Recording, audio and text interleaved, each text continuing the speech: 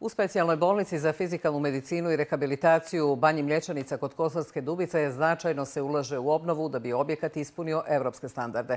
U posljednjih godinu ova banja je na sigurnom putu ekonomske stabilizacije. Obnovljeni su smještajni kapaciteti na drugom svratu centralnog objekta. Rekonstruišu se bungalovi, a donacijom predsjednika Republike Milorada Dodika od 21.000 maraka u banji će biti saniran i lift.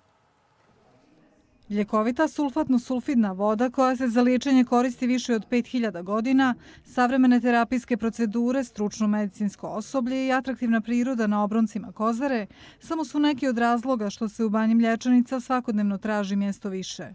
U prilog ide i završetak obnove smještajnih kapaciteta na drugom spratu centralnog objekta.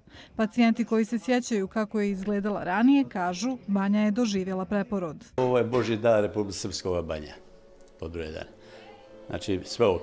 Prošle godine nisam bio, sada ovo je preporod jedan ovaj, za u banju, hotelski smještaj. Sada su sasvim drugačiji uslovi, daleko u pozitivnom smislu. Zgrada je sanirana. A sve je rezultat domaćinskog poslovanja, kaže rukovodstvo banje. Smanjili su rashode, a povećali prihode. U posljednjih godinu značajno je urađeno. Stigla je i donacija iz kabineta predsjednika. Ono što želim da istaknemo ovom prilikom jeste da smo prije par dana potpisali ugovor sa firmom za sanaciju lifta. Vrijednost radova je 21.000 i to je donacija predsjednika Republike. Mi također sada radimo na renoviranju 15 bungalova.